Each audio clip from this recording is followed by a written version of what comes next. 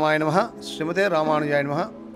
అమరవాది మురళీకృష్ణమాచార్యులు భద్రాచల దేవస్థాన ఉప ప్రధాన అర్చకులు ఈ యొక్క భద్రాచల క్షేత్రానికి మూడు యుగాల చరిత్ర ఉంది. మూడు యుగాలంటే త్రేతాయుగం ద్వాపర యుగం కలియుగం. ఈ భద్రాచలంలో రాముల వారికి ఎన్ని పేర్లున్నాయో అవి ఏమిటో తెలుసుకోవాలి అనుకుంటే ఈ వీడియో లాస్ట్ వరకు చూడండి.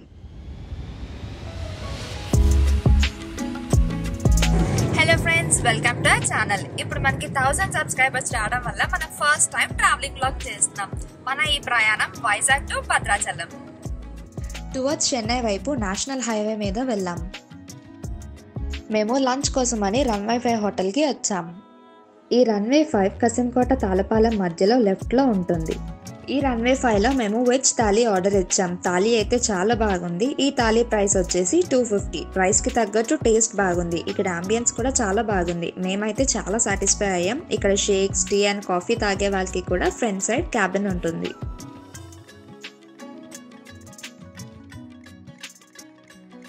ఘాటీ రోడ్ తగలకుండా వెళ్ళడానికి లెంతీ రోడ్ సెలెక్ట్ చేసుకున్నాం. దేవరపల్లి అని బోర్డు వస్తుంది. అక్కడ నుంచి సర్వీస్ రోడ్కి వచ్చేసి రైట్ సైడ్ కట్ అవ్వాలి. అక్కడ నుంచి అశ్వరావుపేట మనకి సిక్స్టీ కిలోమీటర్స్ వస్తుంది.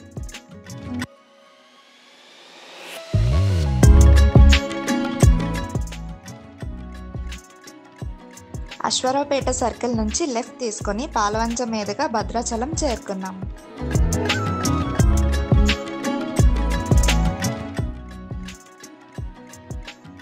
మేము సుదర్శన్ లాడ్జ్లో రూమ్ తీసుకున్నాం. ఇది గుడి పక్కనే ఉంటుంది.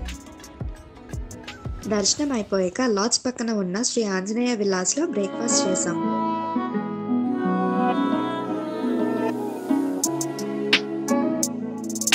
ఈ భద్రాచల క్షేత్ర అర్చకులు మనతో ఉన్నారు. శ్రీరామాయ నమ.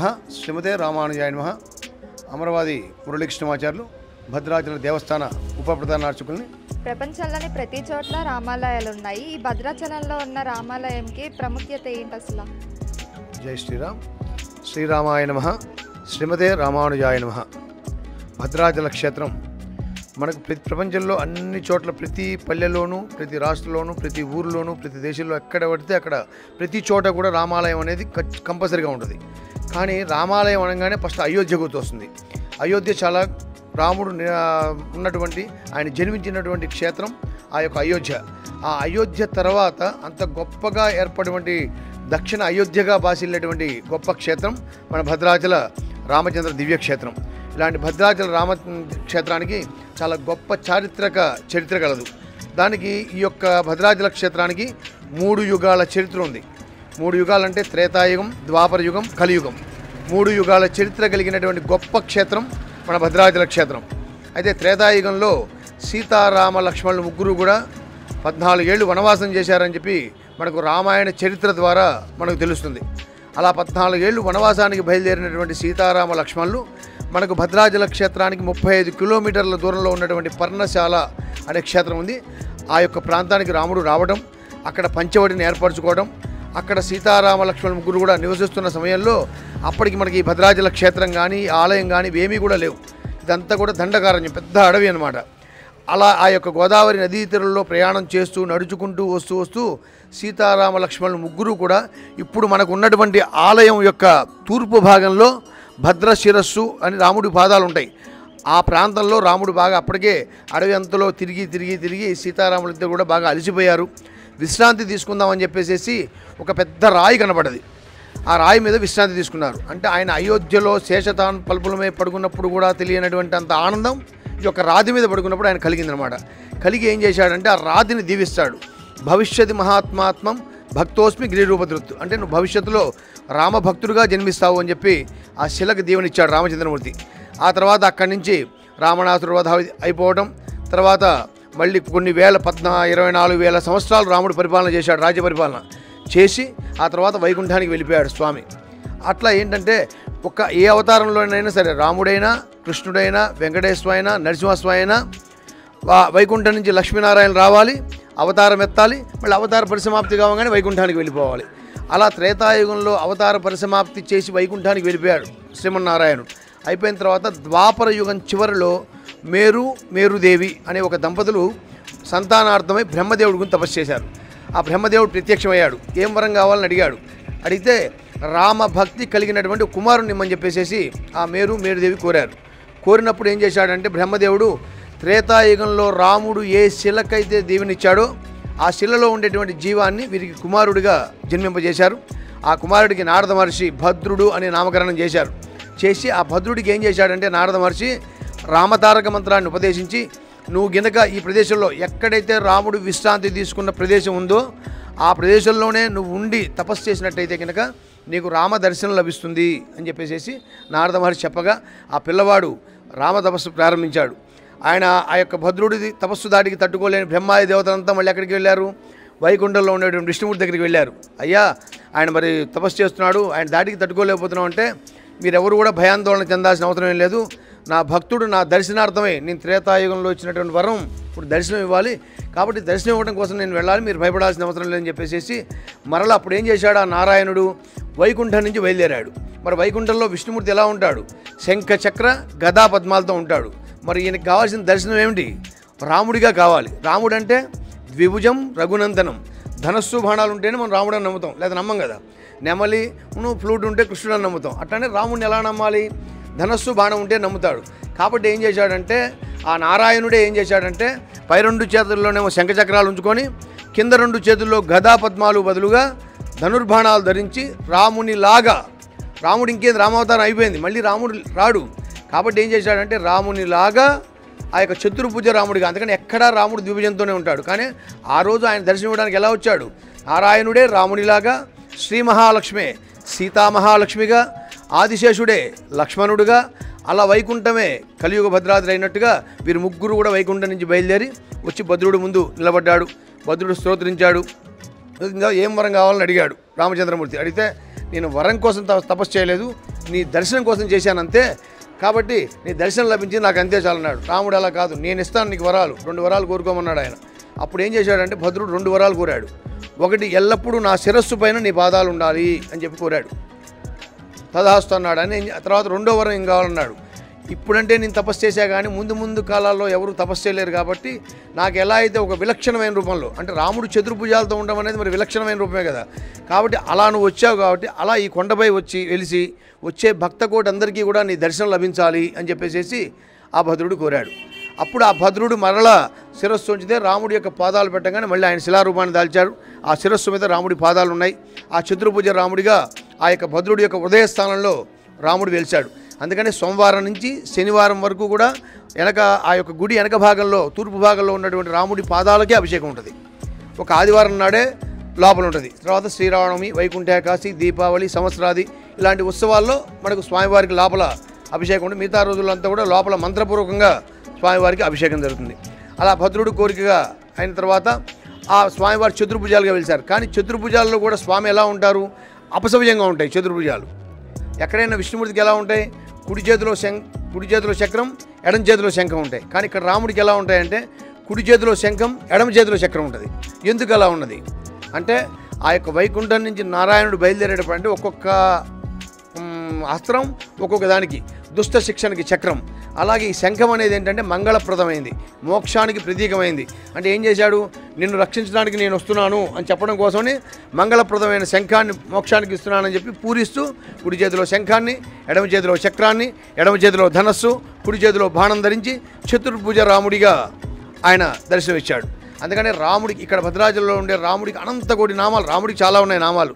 రోజు పొద్దున్న ఎనిమిదిన్నరకి శాసనావచనం చేస్తాం. ఆయనకి సహస్రనామాలు ఏంటి? అనంత కోటి నామాలు ఉన్నాయి. కానీ ఇక్కడ భద్రాద్రిలో ఉండే రాముడికి నాలుగు నామాలు చాలా గొప్పగా ఉంటాయి.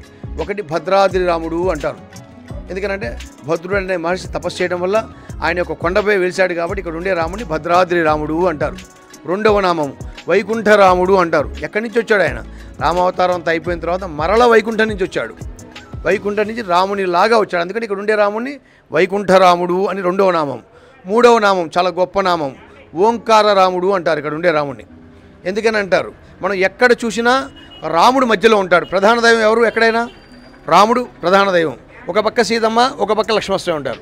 కానీ మన భద్రాచల క్షేత్రంలో చూస్తే రాముడు రాముడి యొక్క వామాంకంలో ఎడమ తొడపై సీతామహాలక్ష్మి పక్కన లక్ష్మణస్వామి ఉంటారు. అంటే అకార ఉకార మకారాలు. అకార స్వరూపుడు రాముడు ఉకార స్వరూపురాలు సీతామహాలక్ష్మి మకార స్వరూపుడు లక్ష్మణస్వామి. అలా ఆ ముగ్గురు అలా వెలిసిన రూపాన్ని పట్టి ఇక్కడ ఉన్న రాముడిని ఓంకార రాముడు అని పిలుస్తారు. ఇంకొక నామం చాలా గొప్ప నామం. ఇక్కడ ఉండే రాముడికి మాత్రమే ఉండేటువంటి నామం. రామనారాయణుడు అంటారు. ఇక్కడ ఉండే రాముడిని ఎందుకని అంటారు? పై రెండు చేతుల్లో శంఖచక్రాలు. ఎవరికి ఉంటాయి శంఖచక్రాలు? నారాయణుడికి ఉంటాయి. నారాయణుడిగా శంఖచక్రాలు రాముడిగా ధనుర్బాణాలు కలిగి చతుర్భుజ రాముడిగా రామనారాయణుడిగా ఇక్కడ స్వామి వెలిచారు అందుకనే చతుర్భుజాలతో వెలిచారు కాబట్టి ఇక్కడ ఉండే రాముడిని రామనారాయణుడు అని పిలుస్తారు. అంతేకాక ఆ నామానికి ఇంకొక విశిష్టత కూడా కలదు. ఇంకో విశిష్టత ఏంటంటే మనకు లక్ష్మీదేవికి ఎలా ఉంటాయి? రెండు చేతుల్లో కమలాలు అభయం వరద ఉంటాయి. కానీ లోపల ఉండే సీతామహాలక్ష్మికి రెండు చేతుల్లో రెండు కమలాలు ఉంటాయి. చాలా గొప్ప విశిష్టత అనమాట భద్రాచల క్షేత్రంలో. ఒక చేయి మనకు కనబడుతుంది సీతమ్మ తల్లిది. రాములవారి ధనస్సు పక్కనే ఒక చేయి ఇలా పట్టుకొని ఉంటుంది అమ్మవారు. రెండో చేయి ఎక్కడ ఉంటుందాం అది వెనక రాముడి యొక్క వెనక నడుము మీద ఆలింగనం చేసుకున్నట్టుగా వెనక ఉంటుంది ఇంకో చేయి. అంటే మీ అర్చక స్వాములం తప్ప అన్యులు ఎవ్వరూ చూడాలి తగంది అనమాట అది. ఆ రెండో చేతిలో కూడా కమలం ఉంటుంది. అలా రెండు చేతుల్లో కమలాలు కలిగినట్టు మాతను ఏమంటారని లక్ష్మి అంటారు. అలా అలా సీతామ్మవారికి రెండు చేతుల్లో కమలాలు ఉండటం వల్ల ఇక్కడ ఉండే సీతామ్మవారిని సీతామహాలక్ష్మి అని పిలుస్తాం. అందుకని ఇక్కడ సీతామహాలక్ష్మి కాబట్టి రాముణ్ణి రామనారాయణుడిగా ఇక్కడ చాలా గొప్పగా కొలుస్తారు. అందుకని ఇక్కడ రెండు ఉత్సవాలు గొప్పగా జరుగుతాయి. వైకు ఒకటి వైకుంఠేకాశి చాలా ఒక సుమారు ఇరవై ఐదు రోజుల పాటు జరిగే ఉత్సవాలు ఇవి. పగలపత్తు రాపత్తు విలాసోత్సవాలు అని చెప్పేసి ఇరవై ఐదు రోజులు జరుగుతాయి. ఎందుకంటే వైకుంఠం శ్రీమన్నారాయణుడే కాబట్టి వైకుంఠేకాశి రాముడు అంటే మనకు తెలిసిందేముందిగా? శ్రీరామనవమి. చైత్రశుద్ధ నవమి నాడు భక్తరామదాస్ గారు చైత్రశుద్ధ నవమి నాడు ఈయన జరగాలని చెప్పేసి వారు నిర్ణయించింది. ఆనాడు కళ్యాణం జరుగుతుంది. అందుకే రాముడిగా శ్రీరామనవమి నారాయణుడిగా వైకుంఠ ఏకాశి రెండు ఉత్సవాలు కూడా చాలా గొప్పగా ఇక్కడ జరుగుతాయన్నమాట. ఈ వైకుంఠ ఏకాశితో పాటు ఆ వైకుంఠ ఏకాశి ముందు తొమ్మిది రోజులు కూడా పగలపత్తు ఉత్సవాలను జరుగుతాయి. పది రోజులు అందులో మత్స్య కూర్మ వరాహ నరసింహ వామన పరశురామ శ్రీరామ బలరామ కృష్ణ తర్వాత తెప్పోత్సవం వైకుంఠ ఏకాశి తిరుగువారంలో అధ్యయనోత్సవం ఆళ్ళవార్లు రాసినటువంటి ప్రబంధాలన్నీ కూడా ఈ యొక్క ఇరవై ఒక్క రోజు చదువుతారు. ఈ యొక్క వైకుంఠ ఉత్సవాల్లో. బ్రహ్మోత్సవాల్లోకి వచ్చేసరికి ఏమో వసంత పక్ష తిరుకల్యాణ బ్రహ్మోత్సవాలు అని చెప్పేసి మనకు తొమ్మిది రోజులు కళ్యాణం జరుగుతుంది.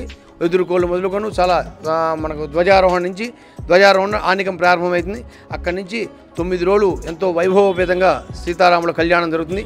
ఈ యొక్క సీతారాముల కళ్యాణానికి కూడా చాలా గొప్ప విశిష్టత. మనకు ఎక్కడైతే అంటే ఆనాడు తానిషా గారు మిగతా రోజుల్లో రాముల వారి కళ్యాణం జరిగేటప్పుడు పసుపు తలంబరాలే కలుపుతాం. మామూలుగా అయితే కనుక పసుపుతోనే మనం తలంబరాలు కలుపుతాం. కానీ ఈ యొక్క శ్రీరామనవి నాడు మాత్రం గులాబీ రంగుతో కలిపి చేస్తారు. ముత్యాలు ఇవన్నీ కలుపుతారు. ఎందుకంటే ఆనాడు మన తానిషా గారు ప్రభుత్వం నుంచి కూడా మన భద్రాచల క్షేత్రానికి ముత్యాల తలంబరాలు పట్టు వస్త్రాలు గవర్నమెంట్ నుంచి ఇవ్వడం అనేది ఆనాడు ఒక ఉక్కుముగా ఉన్నది. అది ఈనాడికి కూడా ఎవరైతే చీఫ్ మినిస్టర్గా ఉంటారో వాళ్ళు ఈ పట్టు వస్త్రాలు తేవడం అనేది ఇక్కడ గొప్ప ఆనవాయితీ. ఇప్పుడు అన్ని దేవస్థానాలకు తీసుకెళ్తున్నారు కానీ అసలు ఈ ఆనవాయితీ ఉన్నది ఫస్ట్ మన భద్రాచల క్షేత్రానికి అనమాట కాబట్టి ఈ యొక్క భద్రాచల క్షేత్రానికి దగ్గరలో మనకు పర్ణశాల క్షేత్రం ముప్పై ఐదు కిలోమీటర్లు. అలానే ఈ యొక్క క్షేత్రంలో కూడా మనం చూడదగిన వాటిలో రామదాస్ గారి ధ్యాన మందిరం అని చెప్పేసి ఉంటుంది. అంతేకాక మనకు రామదాస్ గారు భక్త రామదాస్ గారు రామచంద్రమూర్తికి చేయించారు. చింతాకు పథకం పచ్చల పథకం రామమాడ రవ్వల మొలతాడు ఇవన్నీ కూడా చేయించాడు. ఇవన్నీ కూడా మనకు గుళ్ళో మ్యూజియంలో ఉంటాయి. అమ్మవారి గుడి పక్క మ్యూజియంలో ఉంటాయి. కాబట్టి వీటిని ఎప్పుడు ఉపయోగిస్తామయ్యా అంటే మనకు శ్రీరామనవమి నాడు వైకుంఠాకాశ నాడు మాత్రమే ఉపయోగిస్తాం. అందులో కూడా మంగళసూత్రాలు మూడు ఉంటాయి. చాలా విశిష్టత అనమాట ఇది ఒక గొప్ప విశిష్టత మనకు. మామూలు ఏం చేస్తారు? అత్తవారిల్లు పుట్టిల్లు. అంటే అప్పుడు ఎవరు? జనక మహారాజు గారు దశరథ మహారాజు గారు. కానీ రామదాస్ గారు మనమందరం కూడా అంటే ఆయన ఒక్కరి తరపున కాదు. మన ప్రజలందరి తరపున కూడా మనందరం కూడా కుమార్తె సీతమ్మ తల్లి మన కుమార్తెగా భావించుకొని ఇంకొక సూత్రాన్ని తయారు చేసి మూడు సూత్రాలు ఉంటాయి వాడికి. వాటిని అంద్యాల మంగళ సూత్రాలు అంటారు. వాటిని శ్రీరామనవమి నాడు పూజకి ఉపయోగిస్తాయి. ఈ పచ్చల పథకం ఏమో రాముల వారికి అలాగే రామమాడ అని ఉంటుంది. అది చాలా విశిష్టత అనమాట ఈ రామమాడ కూడా. అంటే బా రామదాస్ గారు జైల్లో ఉన్నప్పుడు సీతారామ లక్ష్మణులు ఇద్దరు కూడా అంటే రామదాస్ గారి గుడి కట్టడానికి ఏం చేశాడు? ఆరు లక్షల వెండి నాణాలు అంటే రుస్తుముగా వసూలు చేసిన వాటిల్లో ఆయన మొత్తం పోగా ఆయన వాడింది అంటే ఆరు లక్షల వెండి నాణాలు ఖర్చు పెట్టాడు అంతే ఆయన. కానీ ఆయన్ని జైలు నుంచి విడిపించడానికి రామ రామ రామలక్ష్మణులు ఇద్దరు కూడా రామోజీ లక్ష్మణోజీ రూపంలో వెళ్ళి ఆరు లక్షల బంగారు నాణ్యాలు అది ఇచ్చారు. వెండి నాణ్యాలు ఆయన ఖర్చు పెట్టింది. రాముడు బంగారు నాణ్యాలు ఇచ్చారు. అందులో ఒక నాణ్యం మనకు మ్యూజియంలో ఉంటుంది. దాన్నే శ్రీరామ మాడ అంటారు. ఆ మాడ ప్రతి సంవత్సరం కూడా మనకు శ్రీరామనవమి నాడు లక్ష్మణస్వామి వారికి ధరింపజేస్తారు. ఇది కూడా చాలా విశిష్టత అనమాట ఈ విధంగా మనకు ఈ గుడి దగ్గరలోనే మనకు ఈ ఆలయాలు చుట్టూగా మనకు ఇంప చాలా ప్రధానమైన ఆలయాలు మనకు ఇక్కడ నరసింహస్వామి ఆలయం ఉంది చాలా ప్రధాన ఆలయం. అలాగే ఇక్కడ భద్రాచలంలో తాతగారి గుడి ఒకటి ఉంది అది గోవిందరాజస్వామి టెంపుల్ అని అంటారు. అలాగే రామదాసు ధ్యాన మందిరం అని చెప్పి పైన ఉంటుంది. అక్కడే రంగనాథ స్వామి రాముడికే ఆరాధ్య దేవుడైనటువంటి రంగనాథ స్వామి ఆ పైన కొలువై ఉంటారు. అది అలానే మనకి ఇక్కడ పర్ణశాల క్షేత్రం ఉంది. ఆ తర్వాత మనకి పాపికొండలు అలాగే మనకు దగ్గరలో ఎనభై కిలోమీటర్లో మల్లూరు అని చెప్పి గొప్ప నరసింహ క్షేత్రం హేమాచల లక్ష్మీ నరసింహ క్షేత్రం కూడా చాలా గొప్ప క్షేత్రం. అలాగే ఈ దగ్గరలో మనకు సంతాన వేణుగోపాల స్వామి చెప్పేసి ఇరవెండి ఇరవెండి అట్లా జడాయు మండపం ఇలా కొన్ని కొన్ని క్షేత్రాలు ఈ భద్రాచలానికి వచ్చిన వారందరూ కూడా దర్శించడానికి ఈ క్షేత్రాలు ఉంటాయి. భద్రాచలం దక్షిణ అయోధ్యగా భాషలేటువంటి ఈ భద్రాచల క్షేత్రాన్ని అందరూ కూడా దర్శించి తరించి భద్రాచల రాముడి అనుగ్రహం పొందవలసిందిగా కోరుచున్నాం. జై శ్రీరామ్.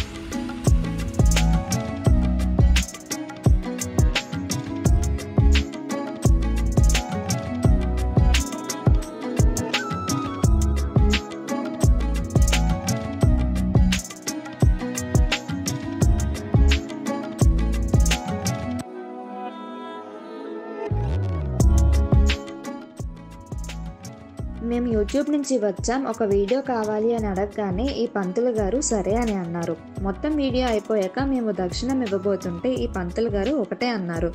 నాకు దక్షిణం ఏం వద్దు ఈ భద్రాచలం రాముల వారి గురించి అందరికీ తెలియాలి అని అన్నారు. అతని ఆలోచన ఎంత గొప్పదో. ఈ వీడియోని మీరు చూసి షేర్ చేస్తే ఆ పంతులు గారు అనుకున్నది మనం నెరవేర్చినట్టే. జై Sriram. Thank you for watching our video. Don't forget to comment, like, share and subscribe to our channel.